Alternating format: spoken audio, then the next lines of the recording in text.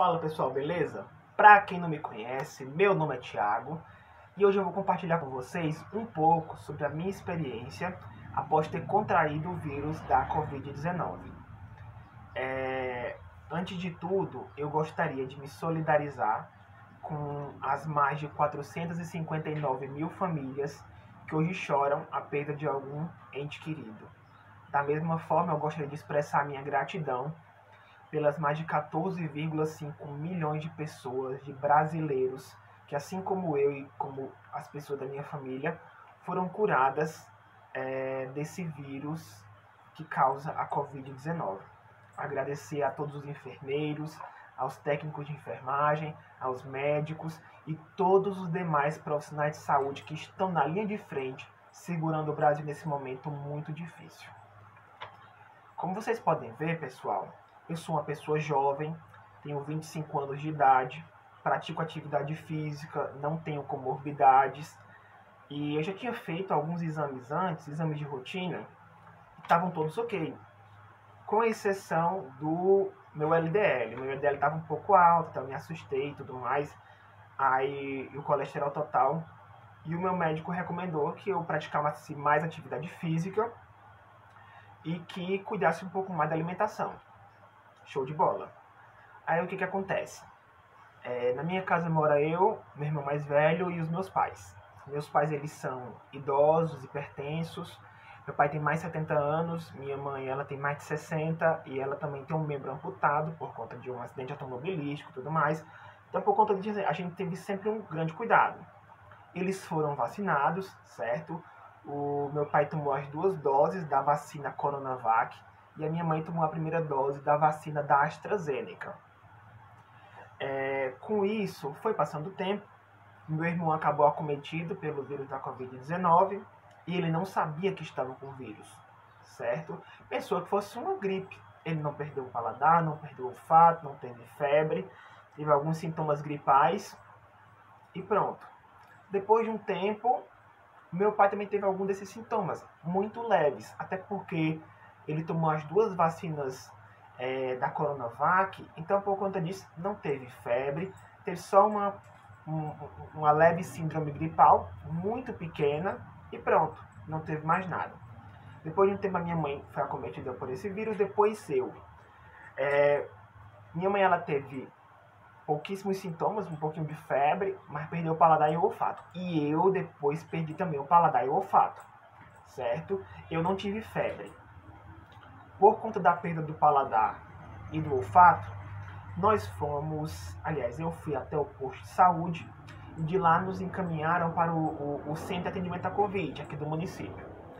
Chegando lá, os meus pais fizeram o teste RT-PCR, que é aquele SUAB, e numa clínica particular, eu e meu irmão fizemos, tá certo? Porque estava uma fila muito grande, centenas de pessoas, os meus pais, por, por minha mãe ter, ela não ter um membro, ela ter um membro amputado e ser idosa, e meu pai também, eles tiveram prioridade, eles tiveram como fazer um pouco antes. Eu e meu irmão, até porque nós tínhamos que ir, porque a gente mora num distrito, aí para ir lá para o município, isso de carro, com a minha mãe é, sem poder sair e tudo mais, a gente fosse esperar aquele tempo todo, ia ficar bem difícil. Então a gente foi, eu e meu irmão mais velho, fomos numa clínica particular. Como eu ainda estava com os sintomas, eu fiz o RT-PCR, que é o do SUAB, e o meu irmão fez o sorológico, que é aquele do IgG e do IgM.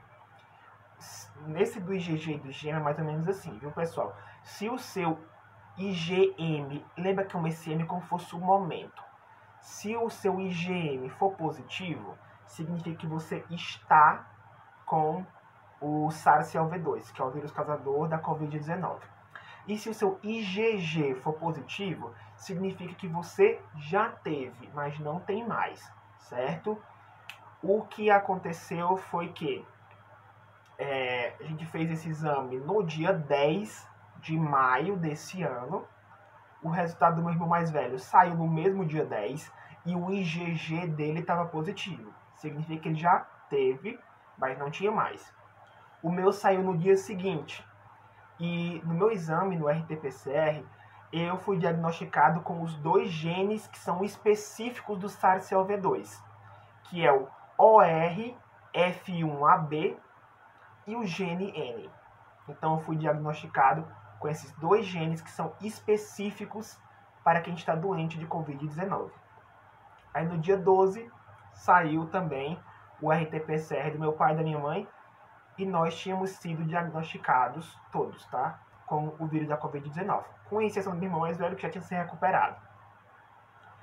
Como meu pai não, não teve sintoma algum e a carga viral estava baixíssima, porque ele já estava se recuperando, até porque como ele tomou as duas vacinas, os sintomas foram muito leves, não foi prescrita medicação alguma. Inclusive também é, para o meu irmão que já estava recuperado.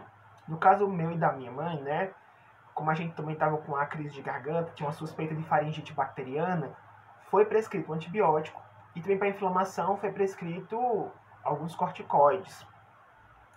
É, sem falar também que a gente foram prescritos uns xaropes também. Lembrando que tudo isso com prescrição médica, tá certo? Não tem como você tomar medicação por conta própria, porque é um, é uma, é um tratamento sintomatológico. Só o seu médico vai saber a medicação certa. Então ele vai olhar de, acordo com os seus sintomas se você precisa ou não de alguma medicação, certo? Tudo com prescrição médica.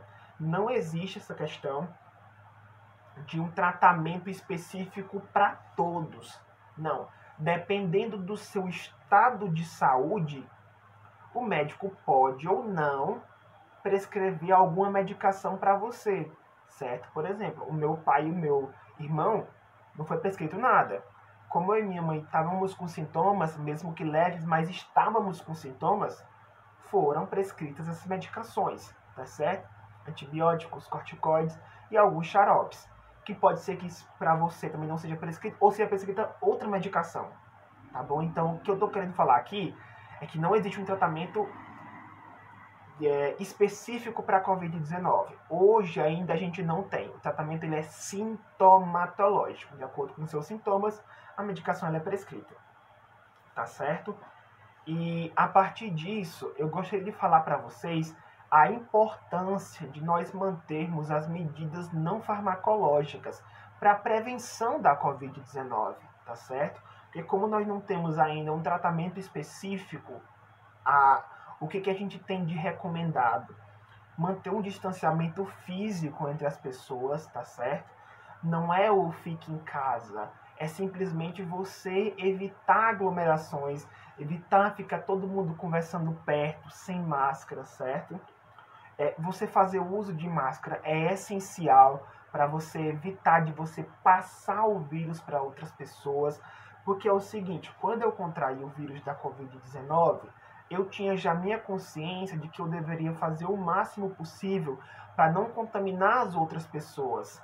Porque não é porque eu desenvolvi sintomas leves que a outra pessoa também vai desenvolver. Aqui mesmo na nossa região já tiveram pessoas jovens da minha idade que foram entubadas e morreram por conta dessa doença. Então existe ainda muito que aprender sobre esse problema e quanto mais a gente evitar a disseminação desse vírus, menor vai ser a contaminação, menos os hospitais iriam ficar superlotados e o melhor, nós não vamos ter mais surgimento de outras variantes que virem cepas, tá certo? Porque hoje tem a a cepa, de, a cepa brasileira, a cepa de Manaus, que é a P1, temos a cepa britânica, nós temos a cepa sul-americana, agora temos também a cepa indiana que chegou ao Brasil. Isso porque, como é um vírus de RNA, ele consegue sofrer mutações muito rápidas. E essas variantes, para virarem cepas, elas precisam se adaptar aos mais é, diversos ambientes. Então, quanto mais pessoas se infectarem, mais organismos deles forem se replicando, maior vai ser a chance de causarem erros nessas replicações e se transformarem em variantes. Essas variantes têm características diferentes totalmente da original, que é onde vira uma cepa, tá certo? Então, o uso de máscaras, o distanciamento físico, fazer a lavagem das mãos com água e sabão, é, utilizar o álcool em gel antes e após cumprimentar alguma pessoa, se for necessário você fazer aperto de mãos, ou então você tocar em alguma maçaneta, algum objeto que muitas pessoas pegam que seja contaminado antes de você colocar nas mucosas, né, da boca, do nariz, dos olhos, você tem que passar álcool em gel nas mãos ou então você fazer a lavagem das mãos. Isso quando eu falo de álcool, álcool 70. O álcool 60 também dá certo, mas o álcool 70 é o essencial. É uma coisa, continue fazendo atividade física. É essencial para vocês em ambientes abertos e mantendo o distanciamento físico das pessoas, certo? Para você prevenir. Agora, se você estiver contaminado, o ideal é que você mantenha, certo? Assim como eu mantive 15 dias, como foi meu caso, em casa, porque você não pode passar o vírus para outra pessoa, tá certo? Se você não tiver quem vai fazer uma compra para você ou fazer alguma coisa, aí nesse caso específico você utiliza sua máscara, certo? E na, em últimas instâncias você saia de casa. Mas deixe muito claro para você não contaminar as pessoas, ficar afastado delas, também fazendo uso de máscara. Eu sei que a realidade brasileira é, é, é bem complicada da gente homogeneizar essas medidas, então, de uma forma geral, uso de máscara, uso de álcool em gel, distanciamento físico é essencial para tudo. É, além disso, é bom você ter uma boa alimentação, tá certo? Não ficar comendo muita besteira para você ganhar peso, acabar ficando obeso, porque a obesidade ela é um agravante para essa doença. E a principal medida preventiva de todas, vacinação. Tá? Se você já está na faixa etária para ser vacinado no seu município, procure o quanto antes e seja vacinado. Vacinas, pessoal, salvam vidas, tá? Se é uma vacina que está autorizada pelos órgãos reguladores do seu país, no caso aqui do Brasil, da Agência Nacional de Vigilância Sanitária, que é a Anvisa, que é muito exigente, vá lá e se vacine. No nosso país, nós temos as vacinas da Coronavac, da AstraZeneca, da Pfizer e da Janssen, que elas já estão aprovadas. E aquelas que já estão sendo aplicadas são as da Coronavac, as da AstraZeneca e também as da Pfizer. Eu tenho aqui alguns dados para vocês, que é do site Our World in Data, que ele fala que o Brasil já aplicou 66,4 milhões de doses. Dessas, quem tomou as duas doses foram cerca de 21,9 milhões de pessoas. E o total em porcentagem que estão imunizadas correspondem a 10,4% da população brasileira. Eu estava vendo atualmente né, que o Ministério da Saúde recomendou que agora a partir dos 18 anos acima já podem ser vacinados, já fui procurar meu município porque é o seguinte, né? O Ministério da Saúde ele dá algumas recomendações, porém, é, quem são os executores da aplicação das vacinas são os municípios. Então você procure seu município e olhe se você já está apto para receber. Eu, por exemplo, não vejo a hora da vacina, seja lá qual for, para ser administrada em mim. Porque, assim, por mais que já tenha, já tenha pegado o vírus da Covid-19, eu estou recuperado. Porém, para reforçar essa imunidade, os médicos, o Ministério da Saúde, a Organização Mundial da Saúde, ela recomenda sim a aplicação da, da, dos imunizantes, né, das vacinas, porque eles vão ao máximo causar essa imunidade. Com, com vacina sim, tá pessoal? Com vacina é a única forma recomendada para a gente criar uma imunidade coletiva. E assim a gente parar essa transmissão do vírus e a economia voltar ao normal, as atividades voltarem ao normal, as escolas, se Deus quiser, voltarem ao normal e a nossa vida voltar ao normal como era antes de 2019, tá certo? Eu espero ter colaborado com vocês um pouco, contando a minha experiência. Se vocês tiverem alguma dúvida, podem deixar aqui na, nos comentários, que eu vou tentar responder a vocês, tá certo? Um grande abraço e ó, tudo de bom.